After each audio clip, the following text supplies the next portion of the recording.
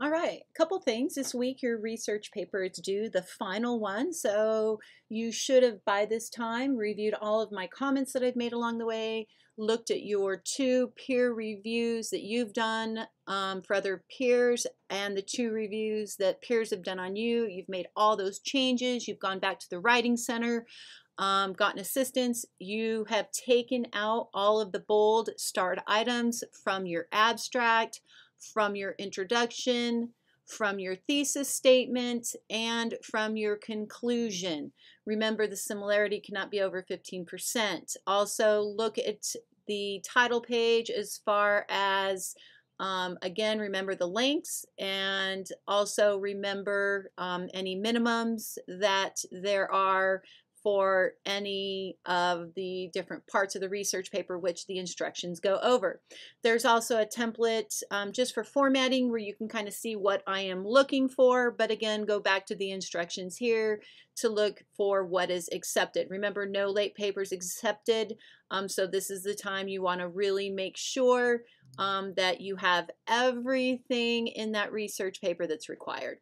All right, moving on to the resume. Um, so this is where you're going to write a resume. We want to know that by now you're you get that resume going, you start working on it. Um, and so we have a how to write a resume. Um, oh, really quickly, here is the grading sheet for your research paper. So I highly recommend, this is what I'm going to be utilizing to grade your research paper. It is located underneath the instructions for the research paper. So make sure you go through this and make sure everything in here you check off as well. I highly recommend you print it if you can, or you actually go in here and check off every part of your res of your research paper. Okay, next.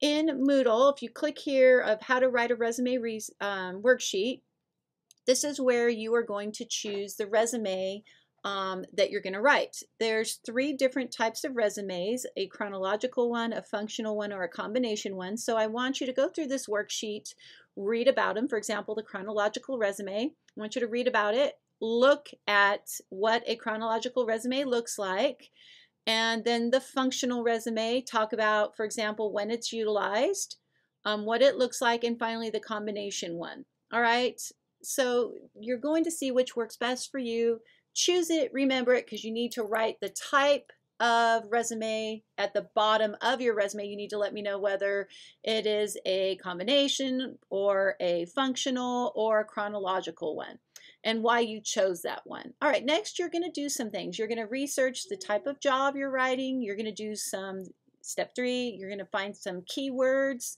um, and here's some examples of keywords and then you're on this page going to list out 20 or so keywords that describe your qualifications and then you have a step four summary of your qualifications um, here's some examples and now you're going to start filling out some of your summary so again right what we're doing through this worksheet is building your resume um, step five talks about your resume heading um, step six talks about your work experience. Seven is achievement statements and some examples of those. And here's where you're going to actually write it out, your turn. Next is listing your education and how to do that, um, community service, so on and so forth. And now it's your time to create your resume. Again, don't forget to list the type of resume at the bottom and why you chose it. All right, and go through all of these steps to do that.